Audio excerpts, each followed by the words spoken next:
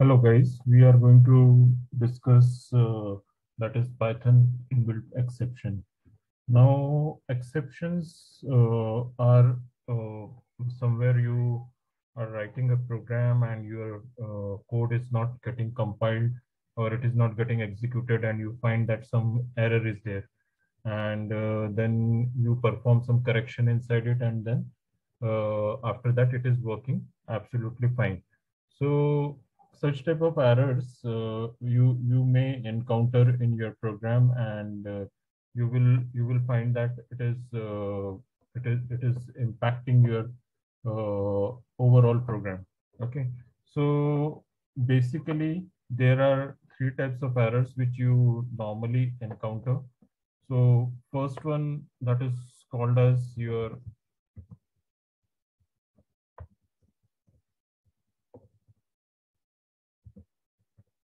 So first one is my compile time error.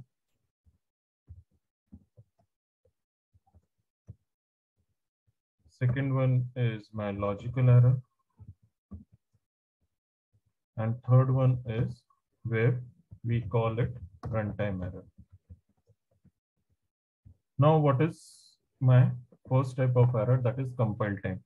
So for suppose I'm saying print welcome to Python world. Okay, I'm saying welcome to Python world. Now, when you will execute this one, it will. So when you will execute this particular thing, you will get an error. It is saying uh, that uh, it is assigning it as a name, name error and it is saying name print is not defined. And the reason behind it is that my P should be in small letters. It should not be in capital letter. In the same way, suppose I'm saying for I in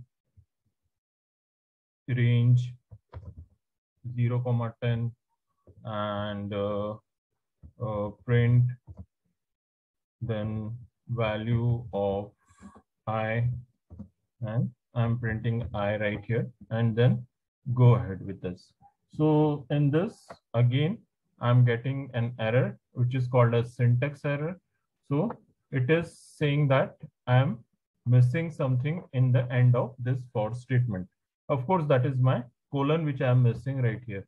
Now, next one is where I say if a is greater than 10 or uh, uh, we are we, we are looking into like print and uh, suppose I'm saying uh, uh, A is greater than 10. Okay. And then I'm executing this particular thing.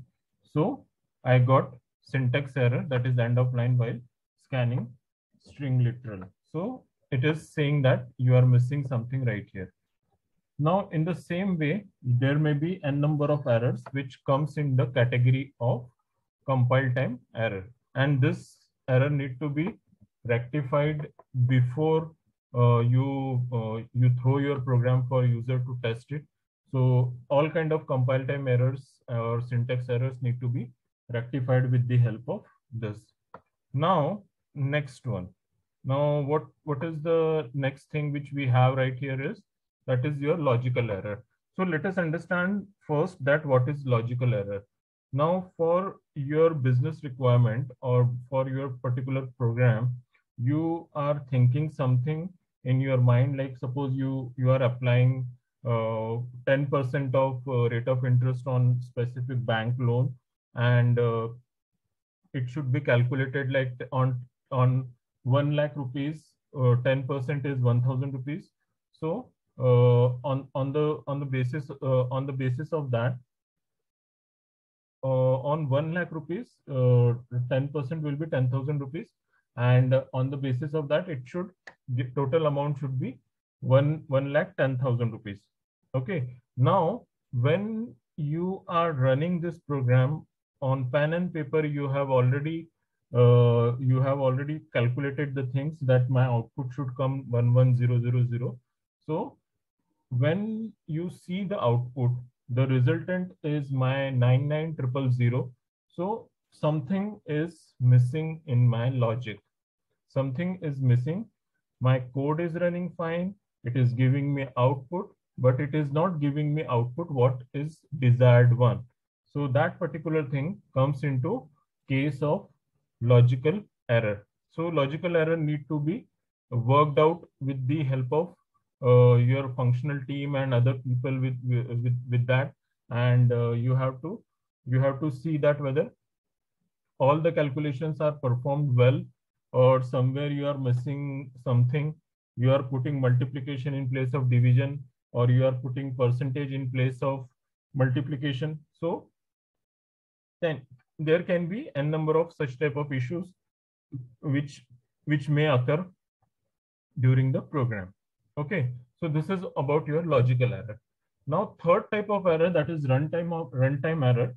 Runtime error talks about errors which occur during the course of program execution. Now, what does it mean? Your program is syntactically absolutely correct. There is no issue at all. There is no compile time error. There is no logical error. There is nothing uh, missing with with respect to uh, business logic and everything. Now my user is making mistake. Okay. My user is making mistake and now i'm facing this particular error saying that uh, for example you you you are putting one particular file uh, on server every day.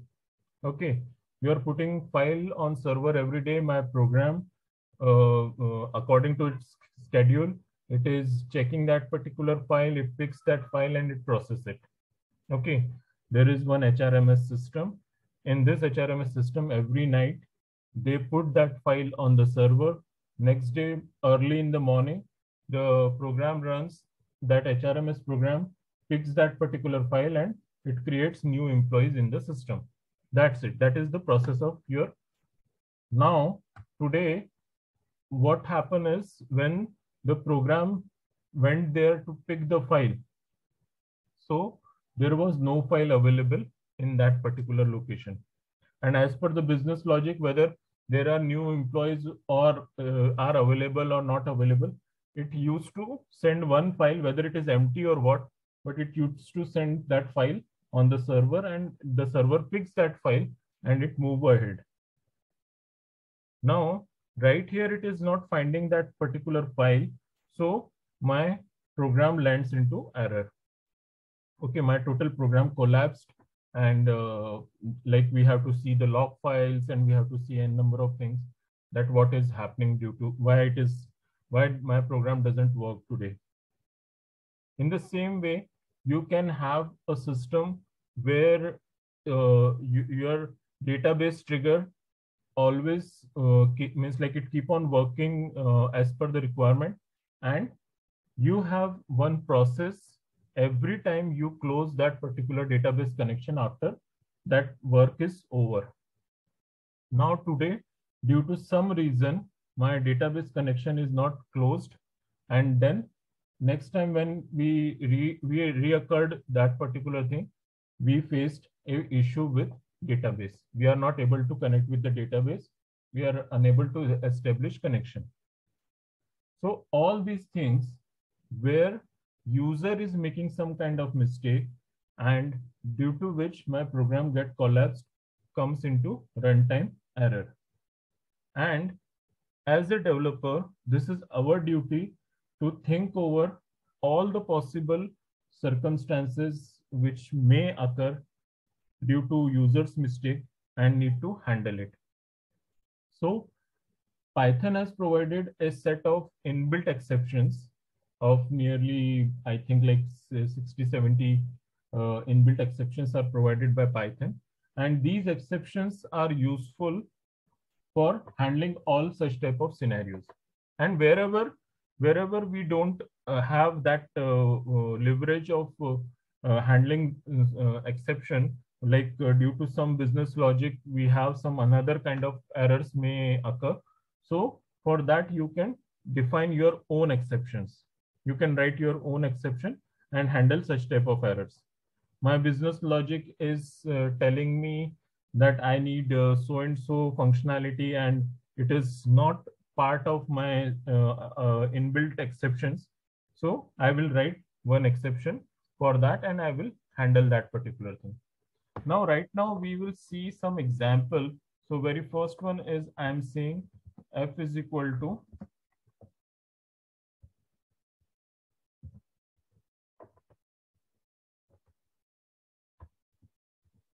text.txt and uh, read and then I'm saying f dot read lines. Okay, read lines function. Now what I'm doing is I'm opening one file, I'm reading a file and I'm now right here it is saying that name r is not defined. So what is the what is the issue right here is my r which is considered to be read mode it is not defined so we are getting an except we are getting error right here that you should define that particular thing so let us make it let, let us correct it and uh, I will run it again. So now what it is saying, it is saying file not found error. Okay, file not found error is coming right here. So now this need to be handled. Okay, this need to be handled. So what I will do is I will say try. I will put everything in my try and uh, except block. And uh, then I will put my code inside it.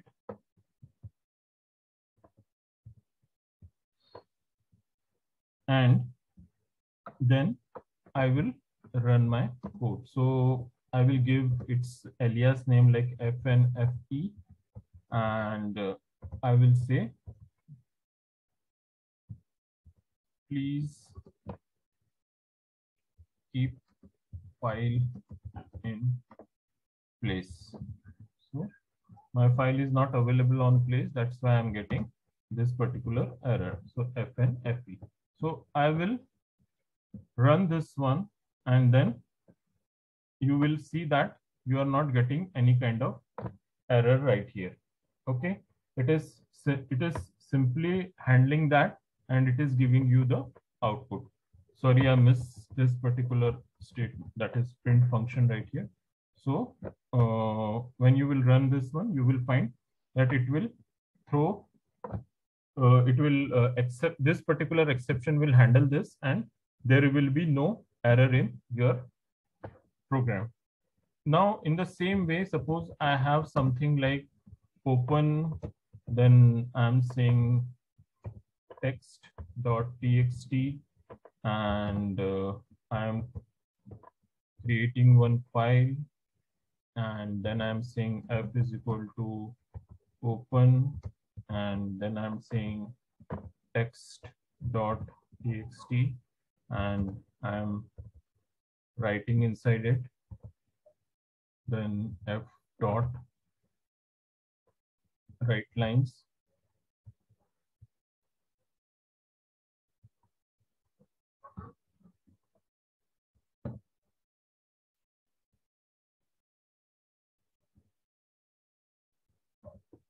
then I'm saying f dot write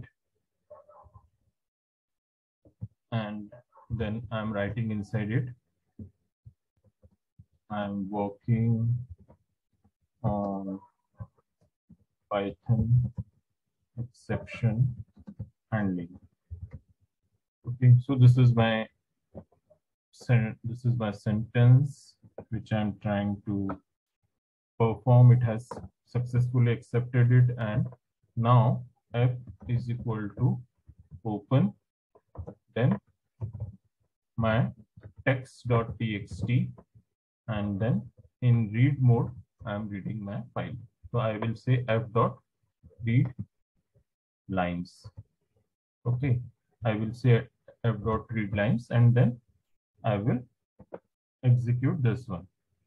Okay uh yep no issues. So now I got my output. Okay, sometimes it takes time to uh, refresh. So uh, that's why the you, you were not getting any kind of value. Now, what I'm doing is I'm saying f is equal to open and then I'm saying text.txt and I'm saying x and I'm trying to create file. So what is the issue? It is saying file exist error and the reason is absolutely correct. My text.txt is already available in the system. So what I will do is I will to handle such type of things, I will say try, then my statement will be there, my open, and I will say text dot txt comma x then except and my error as fee and then my file this file already available available in system. So this file is already available in the system and then I will say FEE and then I will run this one. Okay, then I will run this one. So I can handle such type of thing as well where file is already available in the system and you can you can use your own uh, exception you can use uh, inbuilt exception and you can handle such type of error within the program. When you will get a correct message from a correct place, then uh, you can handle that particular thing in your program and you can correct your program for that respective problem. Okay. And this normally happens when uh, you, you are taking file name from a user. Okay. Now a user, he forgot to append date in the or postfix a date in the file name.